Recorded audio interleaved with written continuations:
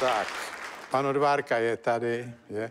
Prosím vás, dneska mám takový zábavný seriál, to se jmenuje Jak se vrátil od babičky. A... to se mi zdá dost dobrý. Jak se vrátil od babičky, to se může stát i s dětma. A zajímavý na tom je, kromě jiného, že to všechno opět dělala umělá inteligence. Jak jim to sluší. Hm. Tak to by pro dnešek stačilo.